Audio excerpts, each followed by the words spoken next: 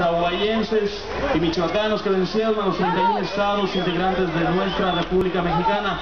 Felicidades por este trabajo que realizaron y que pusieron en alto el nombre de su ciudad y de su estado. Muchísimas felicidades, con esto continuamos, sus amigos de, Copacabana Versátil. Vámonos, con más ritmo, todo